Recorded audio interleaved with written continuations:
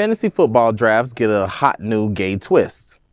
As NFL season kicks off, fantasy football drafts dominate virtual spaces, na- spaces nationwide. Some, like ESPN analyst Mina Kimes, gay friend, add a playful twist to the trend by choosing players based on looks. Kimes has shared his rankings, which are a mix of athletic prowess with eye appeal, something gays understand better than anyone on the earth. Quarterback Jimmy Garoppolo and Patrick Mahomes top the list, while wide receivers Stefon Diggs and Saquon Barkley are also score also score high. Here, take a look. I am an NFL fan, but the guys that are playing now, that's all I'm gonna say.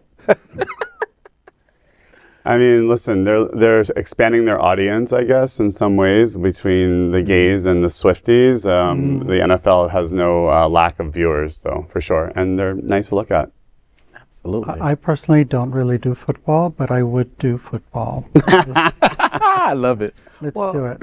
I just think that a real a real gay fan. Any, I mean, most of the guys I know that are super sports fans, yeah, they're pretty, but they'd be like, okay, come on, this team's gonna suck because you know there are better players. Let's get this done. So a real, a, It's a different kind of fantasy I, uh, football. exactly, Hello. exactly. Touche. But I do know that most of my friends that are hardcore would be just laughing their asses off, going, "No, this isn't the right team to have." But mm-hmm. you know, go for it, NFL. Let's do what we have to. to Kick, fill the kickoff is tonight, so enjoy the season. Exactly.